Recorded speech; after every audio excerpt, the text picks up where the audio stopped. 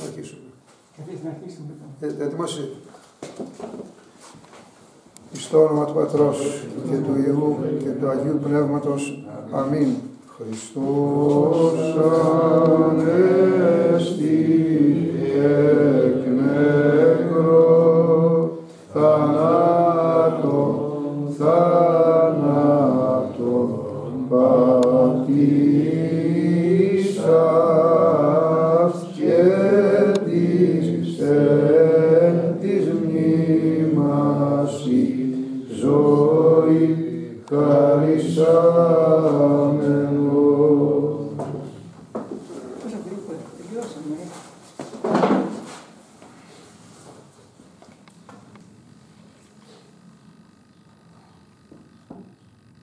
ε. Έχουμε και άλλη φορά και πολλές φορές ακόμα να το πούμε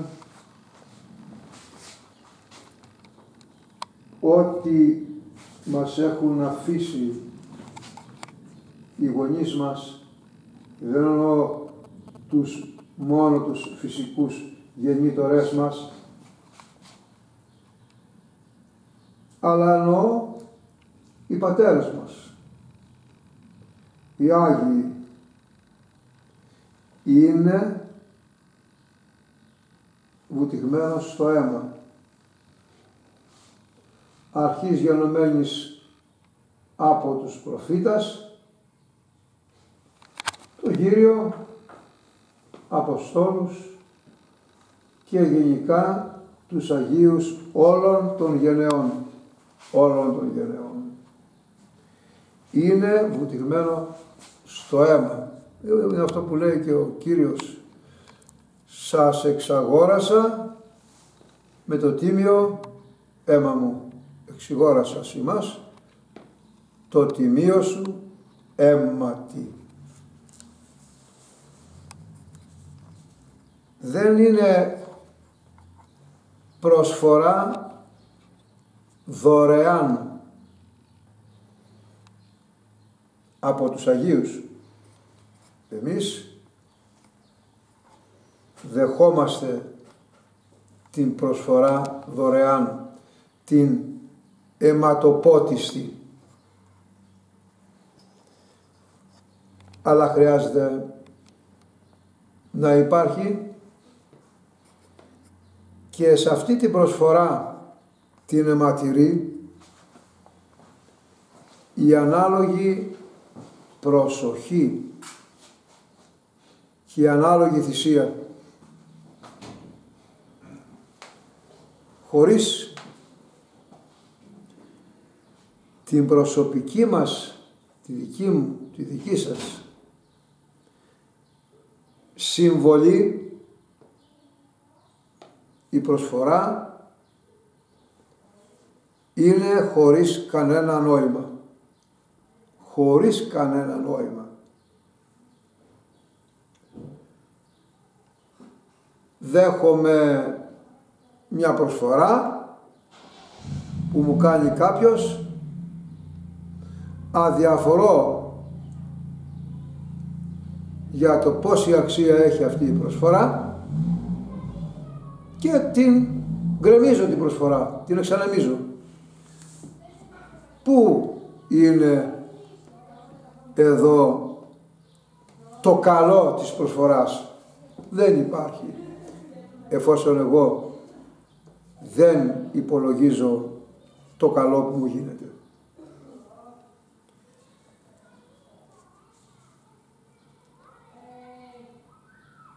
Η Γραφή, η Αγία Γραφή, η Καινή Διαθήκη,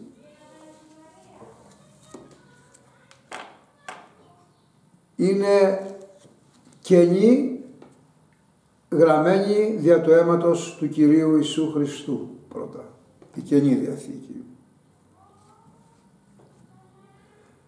Είναι, γρα- είναι γραμμένη όχι μόνο, είναι γραμμένα όχι μόνο τα Ευαγγέλια, ολόκληρη, μέχρι και η Αποκάλυψη. Είναι πρώτα θυσία και μετά προσφορά. Πρώτα θυσία αίματος ζωής, γιατί το αίμα είναι η ζωή. θυσία αίματος και μετά είναι προσφορά του Κυρίου και των Αγίων Αποστόλων προκειμένου για την Καινή Διαθήκη.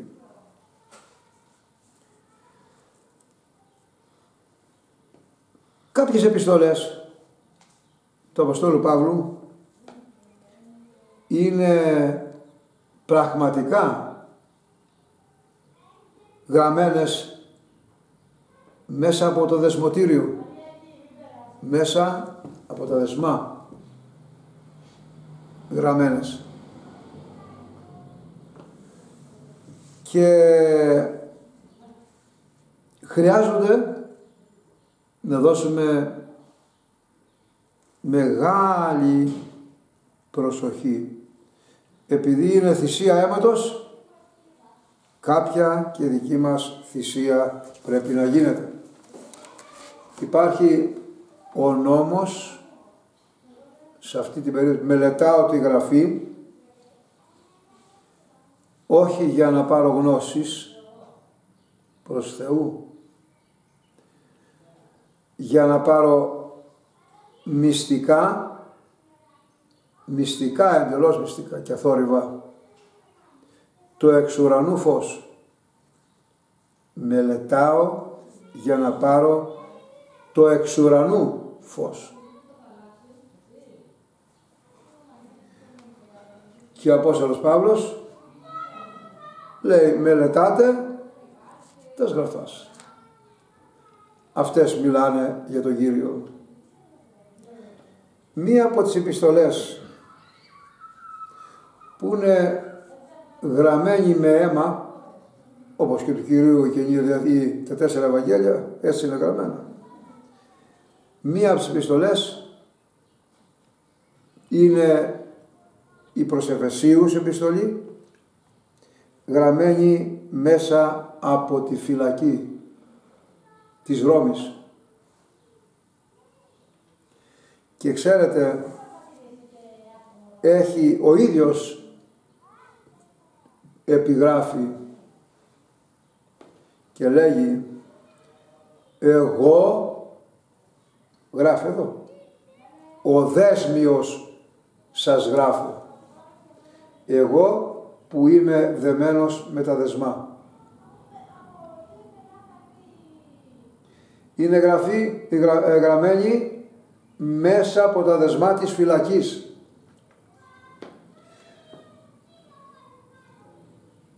δεν δίνει ο άνθρωπος γενικά, ο χριστιανός, ο βαπτισμένος την πρέπουσα σημασία σε αυτά που αναγνώστηκαν. Δεν είναι οι γραφές ή οι, γραφή, ή οι επιστολές του Αποστόλου Παύλου μια κοινή επιστολή που τη γράφεις γιατί σου κατεβάζει το μυαλό ώστε ότι σου κατεβάζει. Αλλά είναι επιστολή ή επιστολές πόνου θλίψεως βασάνων αίματος. Μόνο ο ουρανός μπορεί να μας πει, να μας δώσει να καταλάβουμε το τι έχει συμβεί για να γραφεί η όποια επιστολή του Αποστόλου Παύλου που, την, που λέει εγώ χαίρο γιατί είμαι φυλακισμένος. Χαίρο γιατί με τα δεσμά δεμένος έγινα γνωστός σε όλο το περιβάλλον της φυλακής και στο πρετόριο όλο. Και στο πρετόριο όλο. Δηλαδή παραχωρεί ο Θεός να συλληφθεί Χριστός Ανέστη. Παραχωρεί ο Θεός να συλληφθεί, να δεθεί, να ταπεινωθεί και ε, στη συνέχεια να γραφεί αυτή η επιστολή.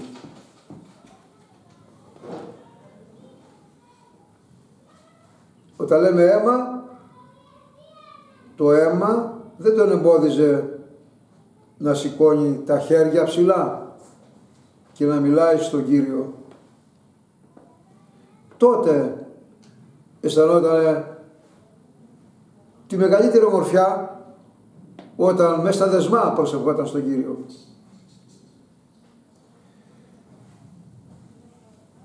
Και τη γράφει την επιστολή την από την οποία θα πάρουμε ένα κομμάτι να το δούμε τη γράφει για να κάνει τους παραλήπτες εκείνος που θα παραλάβουν την επιστολή θα, η επιστολή θα πήγαινε στους Φιλιππίσιους πάνω στη Μακεδονία για τον εξής λόγο ήσαν χριστιανοί είχαν δεχτεί το κήρυγμα και παρουσίαζαν προκοπή πάνω στο κήρυγμα του Κυρίου Ιησού Χριστού. Προκοπή. Και για να τους στηρίξει γράφει την επιστολή, την, προς, την επιστολή. Διαβάζω από το κείμενο, επαναλαμβάνω, είναι επιστολή μέσα από τη φυλακή, μέσα από το φυλακισμένο, ε, από το φυλακισμένο Απόστολο Παύλο. Ευχαριστώ το Θεό μου επί πάση τη μία ημών. Ευχαριστεί το Θεό γιατί τη στιγμή που γράφει την επιστολή και όχι μόνο αυτή θα δούμε παρακάτω είχε στη μνήμη του αυτούς στους οποίους έστειλε την επιστολή τότε που την έγραψε. Είχε στη μνήμη του πότε πάντοτε, πάντοτε δεν αφήνει κενά. Ο αληθινός Απόστολος δεν αφήνει από το μυαλό του αυτούς που έχουν το ίδιο όνομα με αυτόν. Χριστιανός. Πάντοτε εν πάση δεήσιμου πάντοτε εν πάση δεήσιμου σε κάθε παράκλησή μου, σε κάθε προσευχή μου. Μην ξεχνάμε ότι σας θυμάμαι λέει πάντοτε, πάντοτε προσευχόταν ο Απόστολος Παύλος.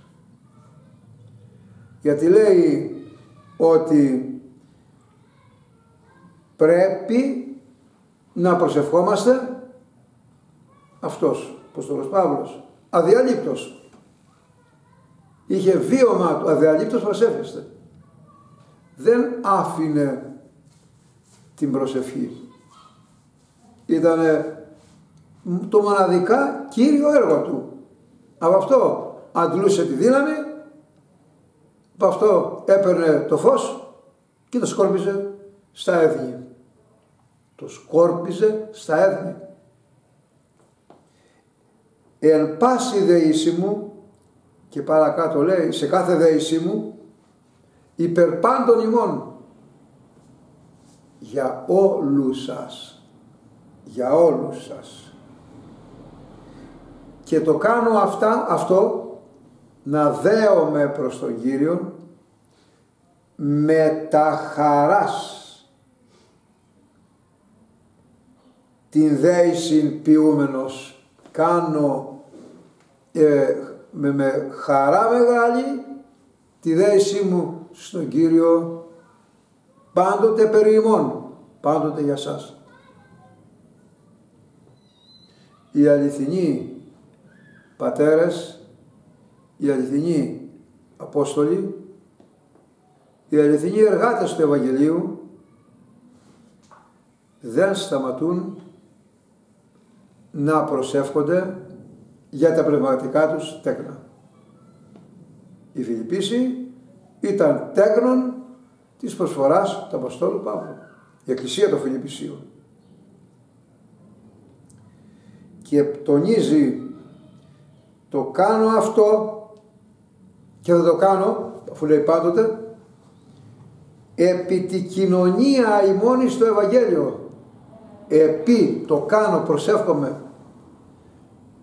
Επί τη κοινωνία, γιατί παίρνετε κι εσείς, κοινωνείτε, παίρνετε μέρος σε αυτό που κάνω εγώ, στο Ευαγγέλιο του Κυρίου Ιησού Χριστού. Τι κάνω εγώ, κήρυξ και Απόστολος. Και εσείς κήρυκες και Απόστολοι. Με τον τρόπο το δικό σας. Με την αγωγή σας, με την ομιλία σας, με τη συμπεριφορά σας. Κήρυκες και Απόστολοι. Γι' αυτό σας θυμάμαι με τα χαράς. Αλλιώς θα έγραφε αυτό όπως γράφει στους Κορινθίους για εκείνον που έπεσε παράπτωμα και οι Κορίνθοι είχαν ύπνο, τους χτυπάει. Καθόσαστε, αμάρτησε ο άλλος, δεν το πετάτε έξω. Εδώ έβλεπε προκοπή, πρόοδο στο έργο του Ευαγγελίου. Διεδίδετο το Ευαγγέλιο. Ζούσαν οι Φιλιππίσοι αυτά που τους είχε διδάξει ο Απόστολος Παύλος. Και επειδή έβλεπε την πρόοδο, ήθελε να τους στηρίξει στο έργο αυτό επάνω. Και τους τονίζει και τους λέγει «Είμαι πεπισμένος απόλυτα σε αυτό που θα ακούσετε ότι το έργο αυτό που κάνετε εσείς που ακούσατε από μένα το άρχισε άλλος. Το άρχισε άλλος δεν είμαι εγώ εκείνος που το άρχισα είναι εκείνος που το κήρυξε πρώτος είναι εκείνος ο εναρξάμενος, εκείνος που το άρχισε πρώτος. Και εμείς εδώ τώρα, αν το παραλύσουμε, έχουμε την ίδια ακριβώς, την ανάλογη πορεία. Ο Κύριος το άρχισε, ε, εσείς το ακούτε από εμένα, και όλοι μαζί πορευόμαστε το έργο του Ευαγγελίου, όλοι μαζί. Δεν υπάρχει εγώ στο Ευαγγέλιο μέσα, υπάρχει εμείς. Υπάρχει εμείς. Λέγει λοιπόν ότι το άρχισε ο Κύριος. Αλλά άμα βαδίσουμε, προχωρήσουμε μέσα στα βάθη των αιώνων, στα βάθη των αιώνων, χωρίς να υπάρχει αρχή σε αυτή την πορεία μέσα στους αιώνες, τους ατελείωτους αιώνες, το άρχισε η Αγία Τριάς. Το άρχισε η Αγία Τριάδα το έργο αυτό του Ευαγγελικού κηρύγματος. Και όταν έδωσε εντολή ο Κύριος Πατέρας, Αγία Τριάδας, στον Παράδεισο, κάντε αυτό για να προκόψετε. Έργο Ευαγγελίου ήταν σε παροχημένη, σε παροχημένη, πολύ περασμένη εποχή. Πολύ πέρα για μας. Αλλά εκείνος που είναι μπροστά από το έργο του κηρύγματος του Ευαγγελίου, όχι τώρα αλλά πάντοτε, είναι ο Θεός, είναι ο Κύριος μας. Και λέει, εκείνος που το άρχισε το έργο αυτό, εκείνος και θα το τελειώσει αισίως. Δηλαδή, ό,τι γίνεται στον χώρο αυτό εδώ μέσα, σε κάθε εκκλησία μέσα που είναι πιστή, το έχει αρχίσει ο Κύριος το έργο, αυτός το επιστατεί και με τη δική του προστασία και τη δική μας κοινωνία, όπως λέει ο Απόστολος Παύλος, επί τη κοινωνία λέει, χρειάζεται και η δική μας κοινωνία συμμετοχή, θα πορευθεί αισίως προς το τέλος του. Προς το τέλος του. Γι' αυτό λέει ευχαριστώ το Θεό.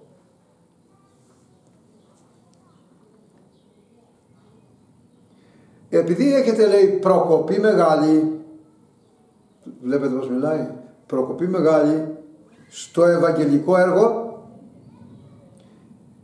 δίκαιο είναι εγώ να σας έχω στη μνήμη μου στις προσευχές που κάνω. Δίκαιο.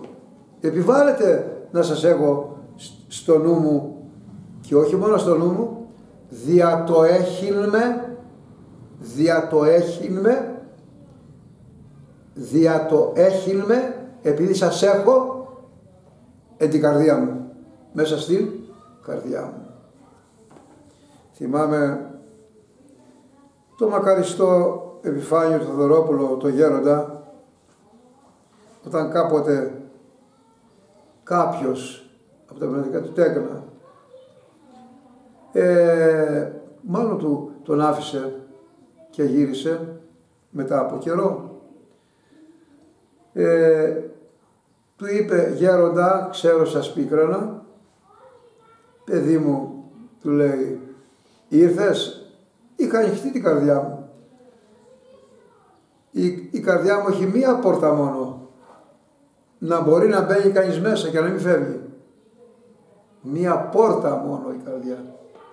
Για να μπαίνει ο άλλος και να μην φεύγει από μέσα. Αυτό σημαίνει καρδιά αγάπης.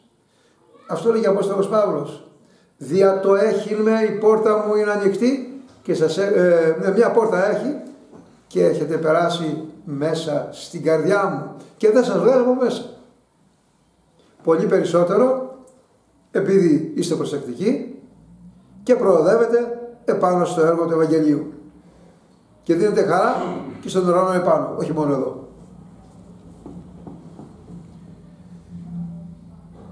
Ε, εδώ σημείωνε ο Απόστολος Παύλος το εξής ωραίο. Σας έχω όλο στην καρδιά μου και τώρα που είμαι δεμένος με τα δεσμά της φυλακής και όταν είμαι μπροστά στο δικαστήριο και απολογούμε σε στιγμές άκρος σοβαρές αλλά στο μυαλό μου σας έχω και επικοινωνώ μαζί σας όταν βλέπω ότι το κήρυγμα στερεώνει στις καρδιές των ανθρώπων. Το επαναλαμβάνω, μέσα στη φυλακή, στα δεσμά μου, μπροστά στα δικαστήρια. Και όταν ακούγεται και στερεώνει τις ψυχές των ανθρώπων, σας έχω πάντοτε μέσα στην καρδιά μου. Δεν σας αφήνω.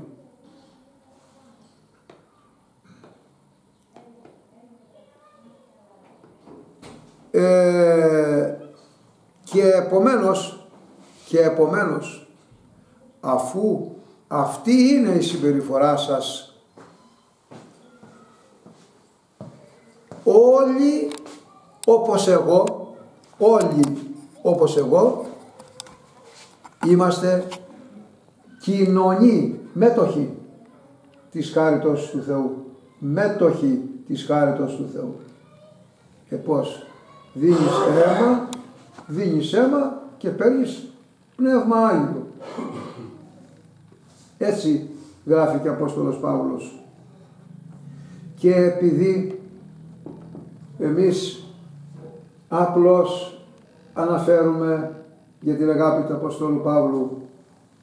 Είναι μυστήριο που δεν συλλαμβάνεται, μυστήριο που δεν περιγράφεται το πόσο αγαπούσε ο Απόστολος Παύλος. Λέγει λοιπόν ότι αυτό που σας λέω δεν το λέω με λόγια απλά, αλλά επικαλούμε τη στιγμή αυτή, το γράφει η επιστολή μέσα, θα το διαβάσω, επικαλούμε μάρτυρα το Θεό. Ότι επιποθώ πάντα σημάς εν της πλάγης μου. Ότι έχω τέτοιο πόθο για σας μέσα στα σπλάγνα μου επιποθώ πάντα μας σας ποθώ όλους σας. Μέσα στα σπλάγνα λέμε έχεις σπλάγνα αυτός ο άνθρωπος. Αγαπάει. Αγαπούσε ο Απόστολος Παύλος και σαν μάρτυρα σε αυτό φέρνω τον ίδιο το Θεό. Και τούτο προσεύχομαι και αυτό προσεύχομαι στον Κύριο. Είναι η αγάπη ημών έτη μάλλον και μάλλον περισσεύει η αγάπη μεταξύ μας και μεταξύ σας. Μάλλον και μάλλον. Μάλλον και μάλλον σημαίνει όσο δυνατόν περισσότερο. Κάθε στιγμή όλο και πιο πολύ η αγάπη μεταξύ μας να περισσεύει μάλλον και μάλλον όλο και πιο πολύ. Και προσέξτε εν επιγνώση όχι απλώς να έχουμε γνώση της αγάπης αλλά επίγνωση. Επίγνωση σημαίνει και θείο φωτισμό μαζί και θείο φωτισμό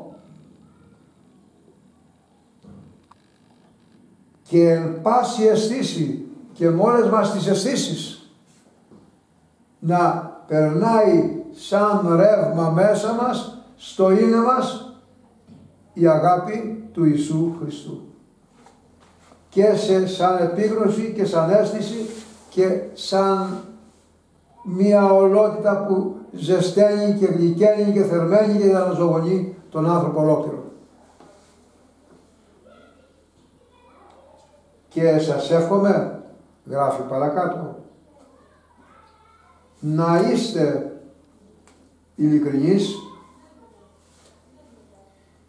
και απρόσκοπτοι εις ημέραν Χριστού.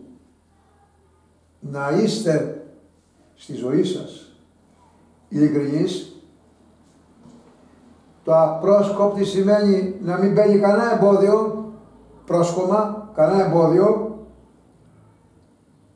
την ημέρα εκείνη που θα έρθει ο Χριστός, που λέμε προσδοκώ Ανάσταση νεκρών. Να έχουμε σαν στόχο κάθε μέρα την ημέρα εκείνη που θα έρθει ο Κύριος για να ζητήσει λόγο πάνω στο έργο που επιτελούμε, που επιτελέσαμε και θα επιτελέσουμε. Δεν υπάρχει περίπτωση να μην υπάρχει ο στόχος αυτός. Πάντοτε λοιπόν χρειάζεται και τονίζω κι άλλη μία φορά ότι γράφεται αυτή η επιστολή που διαβάζουμε και αναλύουμε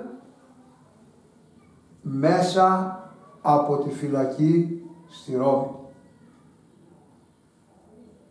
Και είναι, επαναλαμβάνω όπως είπα,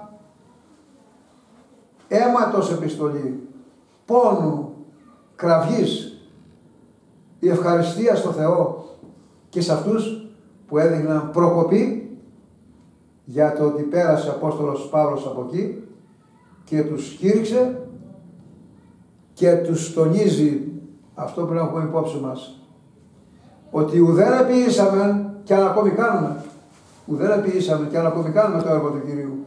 Γιατί δεν το κάνουμε εμείς αλλά λέει ο εναρξάμενος ημίν το έργο το εξηγώ. Εκείνος μας άρχισε το έργο της σωτηρίας μας και όχι εμείς. Δεν έχουμε δικαίωμα κανένα να ε, προβάλλουμε τον εαυτό μας σε τίποτα απολύτως από εκείνα που μας χαρίζει ο Κύριος και είναι δικά Του.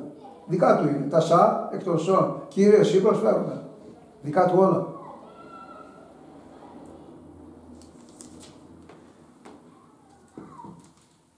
επιστολή λοιπόν, το, το, το, το, το ξαναλέω μια φορά, επιστολή αίματος. Και φέρνει τη σφραγίδα του αίματος αυτή η επιστολή. Έχουμε πει και άλλη φορά. Ο Α, ο μεγαλύτερος από τους εχθρούς της πίστεως ήταν ο Απόστολος Παύλος. Ο διώκτης, εκείνος που συνελάμβανε και οδηγούσε στο απόσπασμα χριστιανούς για να εκτελεστούν. Αυτός τώρα έχει μεταστεί, έχει αλλάξει θέση και είναι άλλη στο απόσπασμα και αυτός βρίσκεται υπό εκτέλεση. Στη φυλακή είναι φυλακισμένος. Ακούστε, το Ευαγγέλιο και οι επιστολές που είναι μαζί μέσα, όλα, να το καλέσουμε Ευαγγέλιο, δεν χωράει σε αυτό εδώ μέσα με τίποτα. Με τίποτα δεν χωράει. Γιατί, όπως ο Παύλος το ονομάζει, μυστήριο το Ευαγγέλιο, τη διδαχή που μιλάει και έχει εντολές μέσα, σε ονομάζει μυστήριο. Ακατανόητος στην ανθρώπινη διάνοια. Γιατί είναι αποκάλυψη Θεού. Και αποκαλύπτεται, να το χωνεύουμε, να το χωνεύουμε για το πράγμα. Σε εκείνους που παραδίνονται και λένε Κύριε κάνε με όπως εσύ θέλεις και όταν θέλεις γεννηθεί το το θέλημά σου. 100% παραδομένη στα χέρια του Κυρίου εκτελούν ότι η Θεία Πρόνοια μεταβιβάζει στο εσωτερικό τους. Και αυτοί τοποθετούν τον εαυτό τους κάτω από αυτή την, την πραγματικότητα μέχρι θανάτου. Στην Αποκάλυψη μέσα γράφεται Αποκάλυψη έως θανάτου αγώνισε υπεραληθείας να αγωνίζεσαι μέχρι και τη, και τη ζωή σου αν σου παίρνουν για την αλήθεια, για το Ευαγγέλιο. Αυτή είναι η αλήθεια. Ζούμε σε ημέρες χαλεπότατες. Πώς θα το Παύλο λέει χαλεπές. Αναμένεται κατόπιν εντολής εγκεφάλων πολιτικών την ημέρα που η Εκκλησία μας θα γιορτάζει την Πεντηκοστή να συγκεντρωθούν από όλες τις φυλές της γης και από, όλες, και από όλα τα θρησκεύματα σατανικά και μη να κάνουν σύνοδο κάτω στην Κρήτη. Σύνοδος σε εισαγωγικά, γιατί δεν είναι σύνοδος η Εκκλησία μας μέσα στην πορεία των αιώνων έχει κάνει 7 οικουμενικά συνόδους, έχει αποκρισταλώσει την αλήθεια και την έχει υπογράψει, όπως ακούσαμε, με το αίμα των, των φορέων της Εκκλησίας. Με το αίμα, όχι κάτι επιταγή πολιτικών εξουσιών, όχι κατά επιταγή Θεού. Δεν θα κηρύξεις, λένε στον Απόστολο ε, Πέτρο, άλλο για το όνομα του Ιησού. Και λέει, εγώ δεν ακούω εσάς, πειθαρχώ στο θέλημα του Θεού που με έστειλε. Πειθαρχήν δι Θεό μάλλον ή ανθρώπης. Επαναλαμβάνω, η αλήθεια την οποία πιστεύουμε και, και για την οποία οι πατέρες μας έχει σαν το αίμα τους σαν τους αιώνες, είναι αποτυπωμένη και τελειοποιημένη. Τώρα να μαζευτούμε για ποια αλήθεια. Να κάνουμε ακταρμά με, με το όνομα ότι είναι εκκλησία όλα αυτά, το συνοθήλευμα που θα μαζευτεί. Όχι, θα φωνάξει το αίμα του Αποστόλου Παύλου μέσα από τα γράμματα που διαβάσαμε. Δεν περιμένουμε καμία αλήθεια. Λέγει θα κάνουμε ένωση, όπως είπαμε κάποια άλλη φορά εδώ μέσα, όλων εν πνεύματι αγάπης. Φωνάζουν αυτοί οι κύριοι. Αλλά απουσιάζει μέσα από αυτό το πνεύμα της αγάπης αυτό που ενώνει. Η αλήθεια. Η αλήθεια είναι ατράντακτη. Ότι η εκκλησία του Κυρίου η Αποστολική είναι μία Αγία Καθολική και Αποστολική Εκκλησία. Ποια άλλη εκκλησία είναι αυτή που, που δεν γνωρίζουμε, μας άφησε ο Κύριος και δεν την γνωρίζουμε, ώστε να τη μάθουμε τώρα. Αυτή που φτιάχνει, που φτιάχνουν οι εγκέφαλοι ανθρώπινοι για να παρουσιάσουμε έτσι το σκόρπιο κόσμο χωρίς νόημα ενωμένο. Όχι.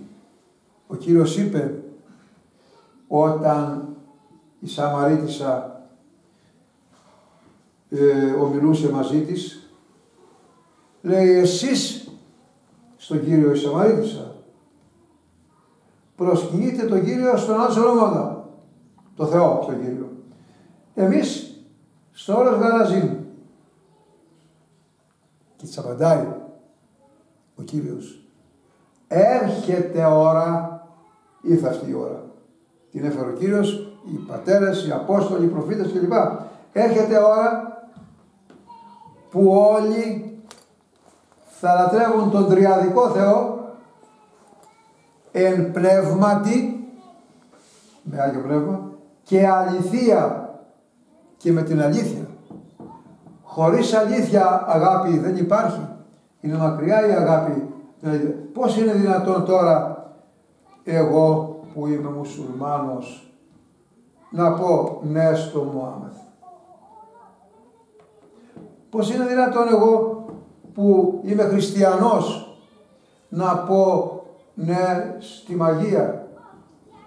Πώς είναι δυνατόν εγώ που είμαι χριστιανός ορθόδοξος να πω σε κατασκευάσματα ευαγγελικών της νοσηράς σκέψεως ότι αυτή είναι αλήθεια και ενώνονται όλα μαζί. Δεν είναι δυνατόν ποτέ. Αυτά έχουν τακτοποιηθεί τώρα και αιώνας έως και το 787 και λίγο αργότερα είναι τακτοποιημένα. Ο Κύριος τον οίκο του, την εκκλησία του, της οποίας είναι αρχηγός, την έχει εντάξει.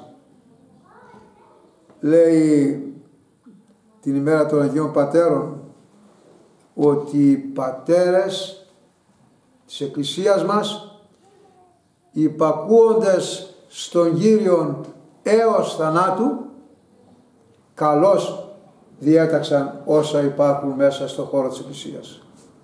Αυτά ακολουθούντες πορευόμαστε έχοντας αγκαλιά τον Κύριο και τη σωτηρία μας. Φέρνω αυτό που διαβάσαμε εκείνος που το άρχισε το έργο της σωτηρίας, ο Κύριος, εκείνος που το άρχισε το έργο της σωτηρίας μας, το λέει Απόστολος εδώ, ο εναρξάμενος θα το τελειώσει σύμφωνα με τη δική μας, με το δικό του θέλημα και τη δική μας υπακοή στο θέλημά του. Δεν περιμένουμε να μας αποκαλύψει κανείς την αλήθεια. Την έχουμε αποκαλυμμένη, δοσμένη από τον Κύριο. Και ε, την έχει την κάνει λιανά για να την καταλάβουμε οι Άγιοι Πατέρες της Εκκλησίας και οι Απόστολοι. Άλλοι εκτός από αυτούς που έδωσαν το αίμα τους δεν γίνονται δεκτοί. Δεν γίνονται δεκτοί. Γιατί; Το αίμα του Κυρίου Ιησού Χριστού είναι εκείνο που σώζει. Αδέρφια μου, τελειώνοντας χωρίς να χρησιμοποιήσω άλλο χρόνο με του Αποστόλου Παύλου τρεις-τέσσερις λεξούλες θα τελειώσω, θα τις προσέξουμε. Σας ευχαριστώ, γράφει στους Φιλιππισίους, γιατί είστε συγκοινωνοί, συμμετέχετε κοινωνοί. Στο έργο μου, συμμετέχετε στα δεσμά μου και εμείς δεν απέχουμε. Όταν κοπιάζουμε στο έργο σωτηρίας μας και ακολουθούμε το έργο των Αποστόλων το ίδιο έργο ακριβώς κάνουμε και αν πέφτουμε άνθρωποι είμαστε, σηκωνόμαστε. Αλλά φίλοι λέει η Ορθοδοξία δεν σε εγκαταλείπουμε. Δεν σε εγκαταλείπουμε. Συμμετέχουμε λοιπόν με την καρδιά μας στο έργο των Αποστόλων, στα δεσμά που έχουν υποστεί οι πατέρες μας, στην απολογία του Αποστόλου Παύλου που απελογείτο, γιατί και εμείς αν χρειαστεί μπορεί να είμαστε αδύνατοι τη στιγμή αυτή. Κανένας δεν είναι δυνατός μόνος του. Κανένας δεν είναι δυνατό, δυνατός μόνος του. Μη κοροϊδευόμαστε. Αλλά ο Κύριος που ετάζει, που βλέπει καθαρά νεφρούς και καρδίας και μετράει τις προθέσεις, την ανάλογη στιγμή χορηγεί τη δύναμη και το φωτισμό. Γιατί έχουμε μέσα στο χώρο της Εκκλησίας και τσοπάνιδες που ομολόγησαν στο όνομα του Κυρίου Ιησού Χριστού και έξαν και το αίμα τους. Και δεν χρειάζεται τα γράμματα ο Κύριος για να προκόψει η Εκκλησία του. Τα χρειάζεται, αλλά μόνο τα γράμματα τους δεν τα χρειάζεται. Συμμετέχουμε λοιπόν στα δεσμά του Αποστόλου Παύλου, στην απολογία του, γιατί θα κληθούμε κι εμείς ή καλούμεθα καθημερινά να βεβαιώνουμε με το δικό μας λόγο βλέποντας τι γίνεται γύρω μας το Ευαγγέλιο του Κυρίου και έτσι βεβαιώνουμε αυτό που και οι Φιλιππίσοι ευεβαίωναν και έβλεπε ο Απόστολος Παύλος ότι είναι όντως χνήσια τέκνα της Εκκλησίας του Ιησού Χριστού. Έχουμε ο Κύριος να μας φωτίσει, να μας ελεήσει και να μας χαρίσει όπως και σε αυτούς την, το δικό του φωτισμό, τη βοήθεια και να καταλήξουμε όπως λέει εδώ πέρα στο τέλος απρόσκοπτη χωρίς κανένα εσωτερικό εμπόδιο πνευματικό να δούμε την ημέρα του τη μεγάλη και φωτεινή. Αμήν. Εγώ τελείωσα από τη δική μου πλευρά, δεν έχω παραπάνω, καλά είναι 40 λεπτά τόσο περίπου, ναι. Πόσο Βασιλάκη; Ε, εκεί περίπου. Ε; Εκεί περίπου. Εκεί, εκεί περίπου, ναι. Δεν χρειάζεται παραπάνω. Ε, να μην αφήνουμε τις γραφές. Να μην γραφές. Γιατί οι γραφές μας στηρίζουν και την προσευχή, ορίστε. Α, ναι. Μάλιστα. Ακούω, δίνουμε τέλος, να δούμε και μια φορά, θα είσαι εσύ. Ε, δεν θα έρθουμε. Ε, άντε μια φορά ακόμη. Ναι, και βλέπουμε, μεταξύ μας τα λέμε εμείς πάλι. Τα λέμε. Είναι 16 Μαΐου είναι σήμερα. 16 Μαΐου. Άλλες δύο φορές πρέπει να έρθουμε. Τι, τι πες; Άλλες δύο πρέπει να έρθουμε. Εδώ έχουν κλείσει όλοι, όλα τα, τα ρολά, οι άλλες. Ε, Τι έχουν κλείσει, αφού δουλεύουν και το καλοκαίρι περισσότερο. Όχι, εντάξει, θα έρθουμε. Και την άλλη δεν βλέπεις, αραιώνουμε τόσο μεγάλη. Ε, και μία μέρα. Την άλλη εβδομάδα μπορεί να είναι πιο πολύ.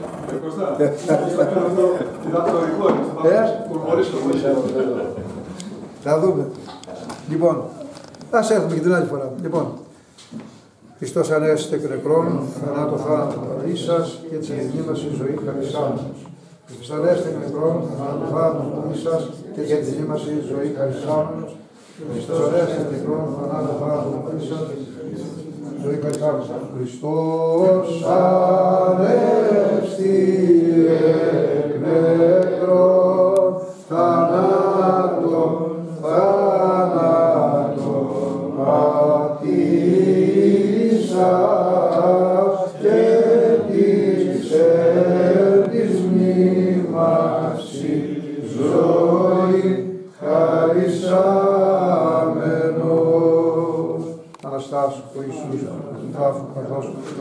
το έρωτα και μείνει, την αιώνια ζωή και μέγα έλεος. Αμήν.